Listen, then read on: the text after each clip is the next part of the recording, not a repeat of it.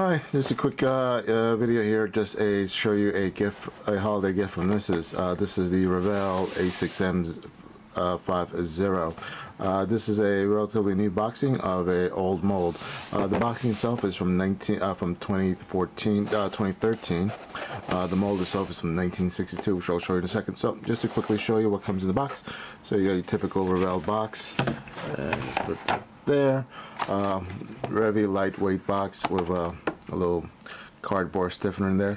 Um, all the pieces they come here in this plastic bag. I took everything out just to make this quicker. Um, there's a total of 29 pieces all together. Uh, so just to quickly run through them. So here you have part of the pieces.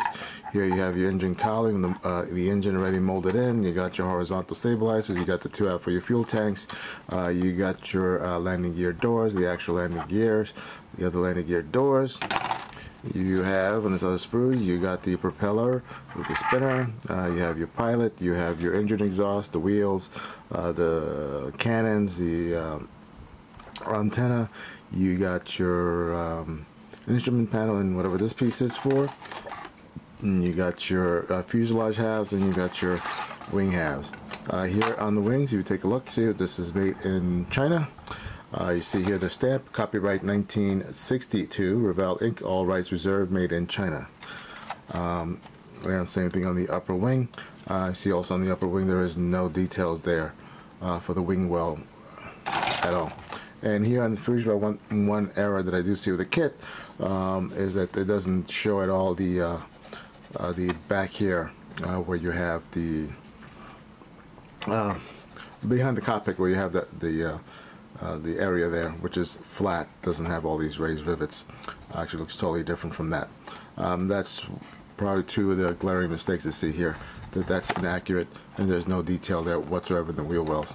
Also the reel, the tail wheel is just one piece molded here, molded in. Um, I mean for 1962 mold, it's not too bad. There's a little bit of flash here and there, but it is what it is. Uh, the canopy comes in its own little separate bag, one piece.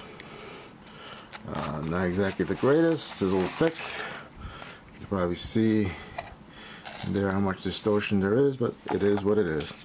Uh, I mean, for a 1962 kit, uh, I mean, it's fine. Um, maybe if you also saw the pilot there and the cockpit, I'll just show you here the inst instructions. Here's the decal, I'll show you that in a second.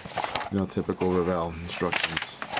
Uh, you got your pin calls, you got your parts. Uh, which actually this is a ni nice feature of these older kits where they actually uh, tell you what all the parts are uh, which I think is a nice little thing which not all modern kits do. Uh, and here you have your very basic simple uh, put together all in five steps.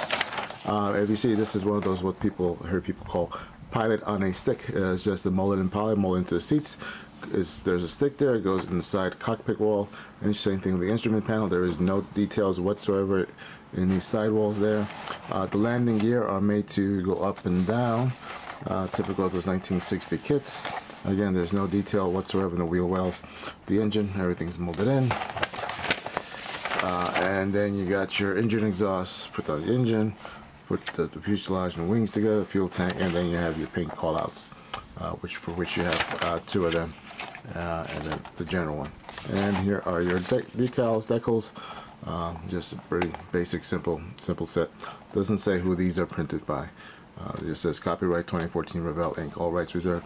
Anyway, uh, that's just a quick out of box uh, to show you what I got for the holidays, and I'll show you the next kit as soon as I get it.